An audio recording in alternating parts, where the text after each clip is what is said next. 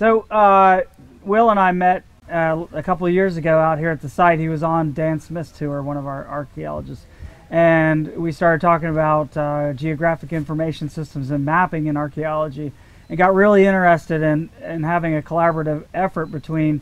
Uh, uh, where he works at the Department of Transportation in Kentucky and the University of Kentucky, folks doing uh, ground penetrating radar and maybe some some magnetometer survey.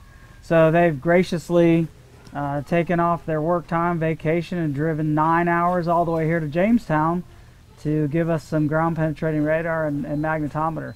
And it, it's it's a phenomenal scientific practice, and it's something that that uh, is always developing. So this is a exciting combination of modern technology with understanding the past, and Jamestown is a uh, incredible site that that excellent work needs to be done, and you are doing that. And this is a new tool in the toolbox to help you plan and see and understand what's underneath the grass so that you can uh, preserve and describe the history. Carl Shields, who was going to be part of the team who couldn't make it, was uh, very important in helping put this collaborative effort together. He was uh, coordinating on the Kentucky side of it, uh, had a lot of constructive discussions about LIDAR, archaeology, remote sensing, and we were able to bring some of these technologies here. Uh, my specialty is uh, geoinformatics, where we use uh, things like GIS and geophysical technologies to try to learn about the past. And you know, Jamestown here is one of those sites that everybody uh, reads about uh, in the popular press and in, in journals. And, and, and uh, when I had an opportunity to, to come here and use my expertise in geophysical survey to help provide some information, it was something I jumped at right away. So what we're kind of doing is using um, a couple of techniques, uh, principally ground penetrating radar, uh, but also uh, magnetic gradiometer, which I'll let uh, Dr. George Crothers talk a little bit about. Uh, but the, the GPR is something that allows us to kind of create a 3D picture of below the surface. So, you know, it's kind of like a CAT scan. We just run this machine that looks like a lawnmower uh, over the uh, over the site. Uh, we do it very systematically. Uh, we're actually doing it about every 50 centimeters, or we're doing it every 50 centimeters. All right, so it's possible the type of things we're looking for are storage pits, um, foundations. Uh, what the radar does as it goes into the ground is it just reflects continuously off differences. So you're looking at variations down there. So there may be things like um, soil differences where somebody may have compacted a floor from continuously using it, even if it's a, a dirt floor. Um, you may have foundations, you may have post holes, things where the soil texture may be different because we've dug it out and filled it back in. Um, things that um, are some sort of different building material like stones or uh, bricks or, or, things like that.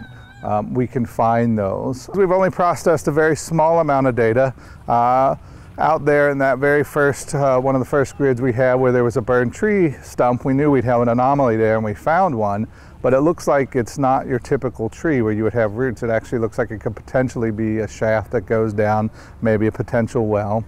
I'm Dr. Stephen McBride with the University of Kentucky and Camp Nelson Civil War Park. My role with the crew is primarily to move tapes. So we keep the uh, machines in line and keep them on a grid.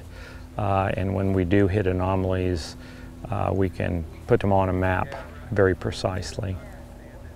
I got um, brought onto this project through Carl Shields um, and Will Holmes. They were, when they were interested in doing some survey, um, they were going to uh, concentrate on uh, the ground penetrating radar, but uh, they asked if I would come along and also use the our magnetometer, which is just another um, instrument that can measure um, different properties of the, of, the, of the ground, near surface. What it measures is near surface magnetic fields. So if you have um, variations in that magnetic field from features, pits, walls, structures. Uh, obviously metal, ferrous metal causes a large magnetic um, uh, field. it will it detects those. And it, the type instrument we have is called a flux gate gradiometer.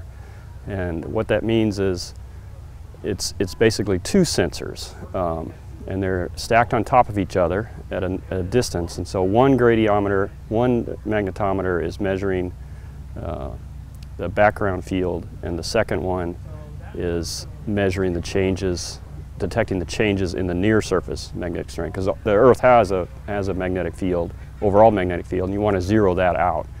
And so it's just a way to get a quick um, measurement of the near surface magnetic field without having to process that background field out.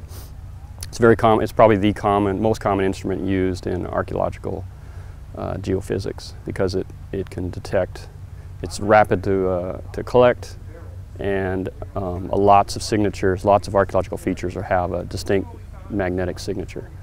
So we use that as a um, very, very quick method to um, measure uh, properties of the ground and then along with the ground penetrating radar, it's always nice to have two different uh, instruments because they're going to detect slightly different types of features. And so then you can compare, compare the two. So how we decided on areas is that our current excavation site, which is just north of us right now, uh, we're, we're, seeing post holes that extend out of the site. Uh, that, so that was a natural sort of direction to go. Uh, so initially, well, uh, the first day we started, Sunday, it was raining in the morning, so we, we went ahead and surveyed in the church behind us here. That's going to be the focus of archaeology as we move towards 2019, the anniversary of democracy here at Jamestown. So that was a really neat, neat process of doing indoor ground penetrating radar. Uh, the, the skies cleared. The next day we moved to north of the site. We went east of the churchyard, and uh, now we're just kind of looking at a couple other spots. But uh, uh, stay tuned. We are we'll be uh, looking at some really great data, I think.